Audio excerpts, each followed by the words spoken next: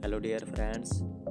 This is me, Vicky Joya, introducing a Brazilian bodybuilder who epitomizes dedication and strength with a chiseled physique that reflects countless hours of intense training. This exceptional athlete has surpassed the limits of physical ability.